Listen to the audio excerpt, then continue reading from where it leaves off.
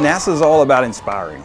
And so something like this, a, you know, a Guinness World Record rocket launch of over 5,000 rockets, I mean, something like that gets people's attention, like, like NASA, like the big launch vehicles that we build.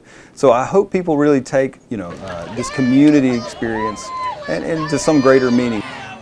Exploration is fun. And being a part of launching rockets and the space program is what we want to inspire the next generation of astronauts, engineers, and so we really want to encourage people to be a part of it because this is for the nation. It is what we do and it is fun.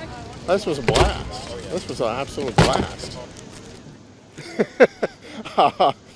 and, and you know what a uh, what a tribute, uh, a, a, visceral tribute to see the right rockets going up. I mean, short of launching another Saturn V.